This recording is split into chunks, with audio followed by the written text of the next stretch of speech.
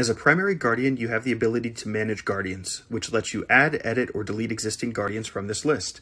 Go ahead and tap the purple Manage Guardians tile, and then tap the Add a Guardian button at the bottom. If you have a photo, it's great to add one here.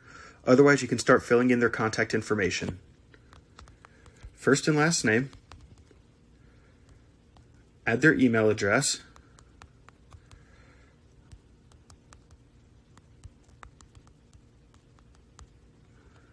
What's their relationship to the student? We recommend adding a phone number and then selecting if they're a primary or secondary guardian. Keeping in mind that secondary guardians cannot add other guardians, schedule carpools, or pay bills. This might be somebody like a nanny or a family friend. When you're done, click the Done button in the top right corner. Now you have the option to send them the sign up email like the one that you had received. We'll go ahead and click on No Thanks and then go ahead and select your name again from the list to stay logged into the software.